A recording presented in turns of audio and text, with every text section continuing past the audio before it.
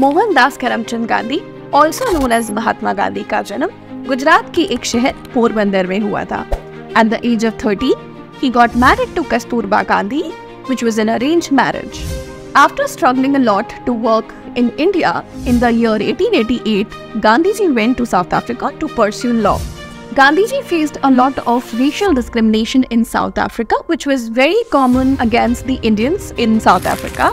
It also gave him a motivation to fight for the civil rights. In the year 1894, Gandhiji formed Little Indian Congress to fight for the rights of the Indians. इसके अलावा there were a lot of laws that were against the Indians in South Africa, and that is why Gandhiji started the Satyagraha, which was a non-violent way of resistance. He led this movement, which lasted approximately for seven years. इसी के कुछ time बाद the South African government started and thought to negotiate with Mahatma Gandhi because of the pressure that they were receiving from Britain and India. So Gandhiji had a great impact on South Africa, but it was also the time for him to move back to India. He shortly founded an ashram which was open to everyone. Here, he devoted his life to fasting and meditation, earning the name of Mahatma.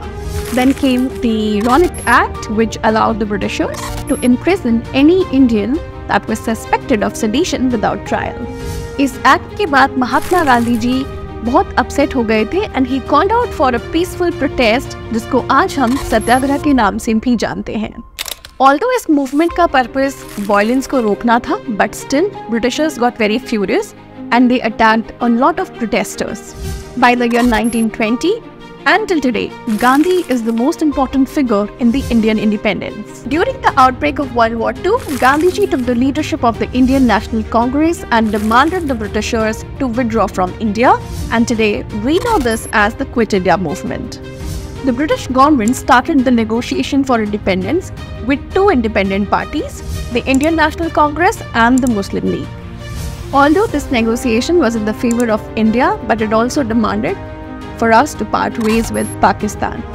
So Gandhiji was strongly against the partition of India and Pakistan, but this is how we got independence as a nation.